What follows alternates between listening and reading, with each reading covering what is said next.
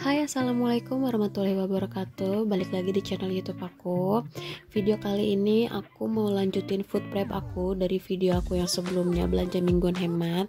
Jadi buat bunda-bunda yang baru datang ke channel youtube aku Jangan lupa untuk nonton juga video aku yang ini Karena video ini adalah lanjutan dari video aku yang sebelumnya food prep aku kali ini lebih simpel karena nggak semuanya aku masukin ke box kontainer.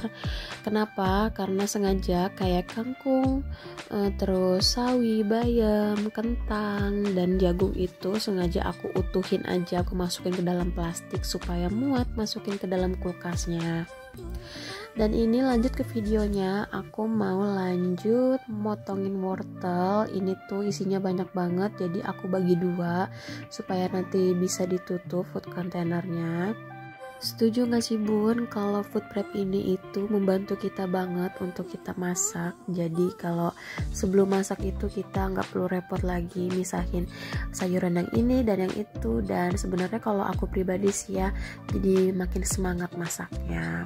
Semoga eh, video-video uh, aku yang aku share ini ke teman-teman semuanya bisa menginspirasi dan ada manfaatnya ya untuk kalian Gimana nih bun di rumah lagi pada apa? Udah masak atau belum? Masak apa hari ini? Duh pokoknya happy ya. Aku tuh juga suka seneng banget gitu kalau ngeliat video teman-teman yang lain gitu ya. Kalau lagi share kegiatan ibu rumah tangganya. Jujur aku tuh jadi termotivasi yang tadinya aku males. Aku nggak pernah food prep. Aku nggak pernah bersihin kulkas. Jarang-jarang bersihinnya. Tapi aku sekarang jadi lebih semangat aku sih mudah-mudahan ya apa yang aku share juga uh, ada manfaatnya untuk kalian Nah ini lanjut, aku mau potongin kacang panjang seperti biasa. Sebenarnya kacang panjang itu emang lebih simple itu kalau udah langsung kita potong-potongin gini aja ya biar gak makan waktu nanti kalau mau masak.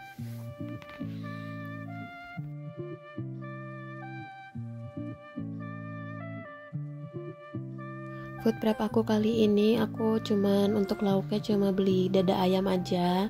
Rencananya itu pengen aku masak chicken katsu uh, kan kalau chicken katsu itu anak aku juga bisa makan ya. Jadi aku beli dada ayam aja. Untuk selebihnya untuk hari-hari selanjutnya seperti biasa aku emang nggak pernah stok lauk pauk. Pertama karena kulkasnya kepenuhan. Dan kedua juga aku lebih suka fresh karena setiap hari juga suami ke pasar. Jadi aku selalu nitip setiap hari nah ini aku masih lanjut ngerjain kacang panjangnya. Emang agak lama ya. Sebenarnya uh, kacang panjang tuh bebas ya mau dipotongin pakai pisau kayak gini atau dipetik-petikin aja. Cuman kalau aku lebih enak pakai pisau kayak gini lebih cepat Sampai lupa nanyain kabar teman dan bunda semua di rumah. Apa kabar semuanya? Semoga selalu sehat, happy. Terus dilancarin segala urusannya, rezekinya dilancarin. Pokoknya harus tetap bahagia selalu. dan ini masih lanjut aku mau potongin buncis dari dan bersihin dari serat-seratnya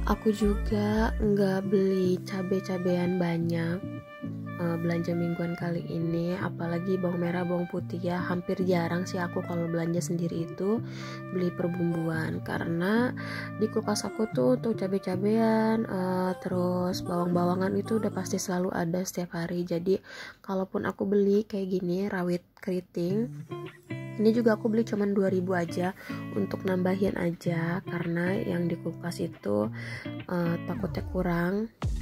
Jadi aku cuma beli sedikit aja. Terus ini aku masih lanjut mau potongin brokoli. Aku seneng banget dapat brokoli seplastik ini dapat tiga tangkai kalau nggak salah ya. Iya benar tiga tangkai. Ini harganya cuma cuman 7000 aja. Tapi ternyata satu tangkainya itu setengahnya ada yang busuk. Tapi masih bisa dipilihin. Segini juga menurut aku alhamdulillah banget. Karena biasanya kalau aku beli di mamang sayur deket rumah itu satu tangkai ini tuh kalau ditimbang mereka juga bisa sampai 7000 sampai 8000 dan itu tuh kecil banget aku tuh tadi pas mau beli sempat ragu takutnya aduh ini udah diplastikin takutnya pada jelek gitu ya dalamnya pada busuk. Ternyata emang sih ada yang busuk tapi cuma sedikit aja selebihnya masih bisa dipakai semua. Makanya aku kalau beli brokoli itu udah pasti aku langsung potong-potong kayak gini biar ketahuan masih bagus atau enggak dan busuk atau enggak. Jadi kalau ada yang busuk nggak melebar busuknya ke mana-mana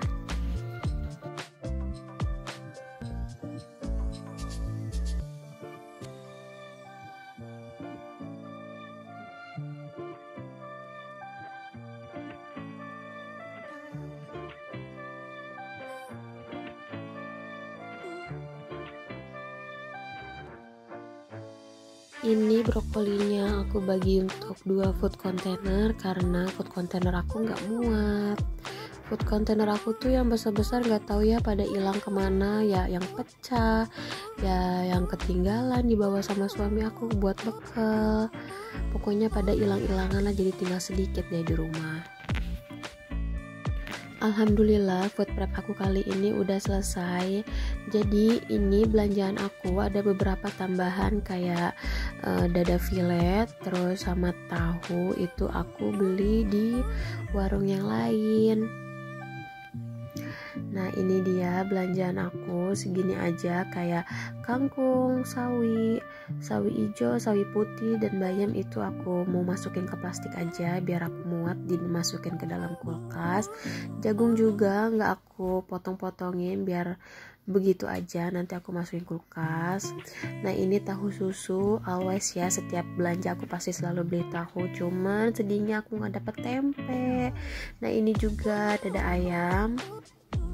Udah deh selesai alhamdulillah. Terima kasih buat teman-teman dan bunda yang udah klik video aku. Sampai ketemu di next video. Assalamualaikum warahmatullahi wabarakatuh